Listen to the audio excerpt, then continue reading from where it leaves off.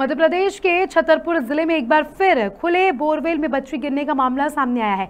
तीन साल की बच्ची खेलते खेलते 30 फीट गहरे बोरवेल में जा गिरी। घटना रविवार शाम की बताई जा रही है। जानकारी लगते ही प्रशासन की टीम पहुँच गई। पाँच घंटे की मशक्कत के बाद बच्ची को सुरक्षित निकाल लिया गया।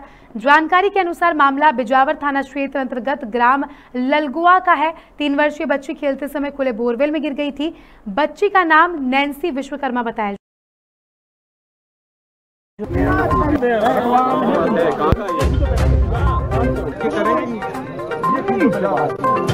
हमार